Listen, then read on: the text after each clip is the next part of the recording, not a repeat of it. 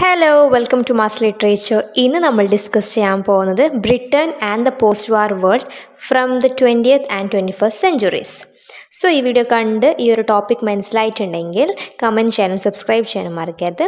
So that's it നമുക്ക് ടോപ്പിക്കിലേക്ക് പോകാം so ഈ ഒരു സെക്കൻഡ് വേൾഡ് വാർ കഴിഞ്ഞതിന് ശേഷം ബ്രിട്ടന്റെ ലൈഫ് കംപ്ലീറ്റ്ലി ആയിട്ട് മാറിയിട്ടുണ്ട്.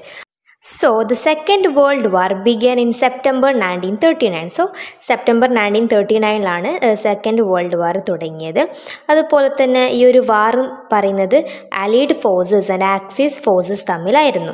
So so allied ഫോഴ്സസിൽ Russia Britain America and U S A അതുപോലെ തന്നെ axis ഫോഴ്സസിൽ Germany Italy and Japan so the war was between the allied forces and axis forces so ആ ഒരു സമയത്തുണ്ടായിരുന്ന ലിറ്ററേച്ചറിലൊക്കെ second world വാറിനെ എങ്ങനെയായിരുന്നു represent ചെയ്യുന്നുണ്ടായിരുന്നത്? ഒരു heroism ഒരു glory അങ്ങനെയായിരുന്നു second world വാറിനെ represent ചെയ്യുന്നുണ്ടായിരുന്നത്. ബിക്കോസ് ഈ ഒരു വിന്നിങ് ഈ ഒരു വാറിൽ ജയിച്ചതോടുകൂടി ആ ബ്രിട്ടീഷിന്റെ ആൾക്കാർക്ക് ഇതൊരു ലാസ്റ്റിംഗ് ആയിട്ടുള്ളൊരു ഇമ്പാക്റ്റ് ആയിരുന്നു.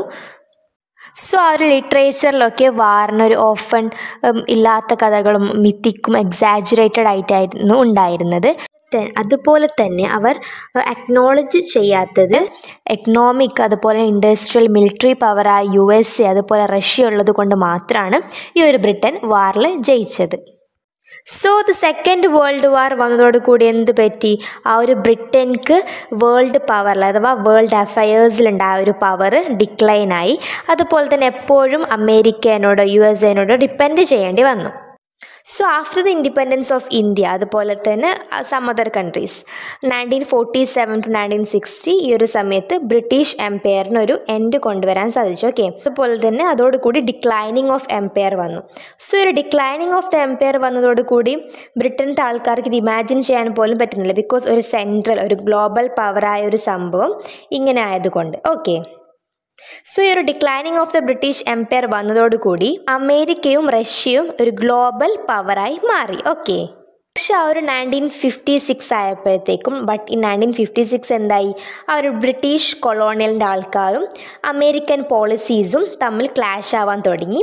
അതോടുകൂടി അവിടെ ഒരു Suez crisis nineteen fifty six അവിടെ വന്നു. ഓക്കെ ഇപ്പോൾ എന്ത് വേണം? എന്തിനും അമേരിക്കന്റെ അപ്രൂവൽ വേണം. ഓക്കെ സോ അമേരിക്കന്റെ അപ്രൂവൽ ഒരു നെസസറി ആയിട്ട് മാറി. ബ്രിട്ടീഷിന്റെ ഫോറിൻ പോളിസിക്ക് അത് പെർസ്യൂ ചെയ്യാൻ വേണ്ടിയിട്ട് അത് എടുക്കാൻ വേണ്ടിയിട്ട് അമേരിക്കൻ ഒരു അപ്രൂവൽ വേണ്ടി വന്നു ഇപ്പോൾ സോ അങ്ങനെ കുറച്ച് കഴിഞ്ഞ ശേഷം ബ്രിട്ട് ബ്രിട്ടീഷിന്റെ ആൾക്കാരെന്താ ഒരു യു എസ് എന്റെ ആൾക്കാരോട് ഒരു ക്ലോസ് ആയി ക്ലോസ് ആവാൻ തുടങ്ങി. ഇവന്തോ അവർ ഒരേ തോട്ട്സും ഒരേ കാര്യങ്ങളും ഷെയർ ചെയ്യുന്നില്ല ഓരോരോ സംഭവങ്ങളിൽ. But even though they have become a close partners okay so അങ്ങനെ ആ ഒരു കമ്മ്യൂണിസം റഷ്യയിൽ വന്നതോടുകൂടി ഒരു പുതിയൊരു സംഭവം വന്നു.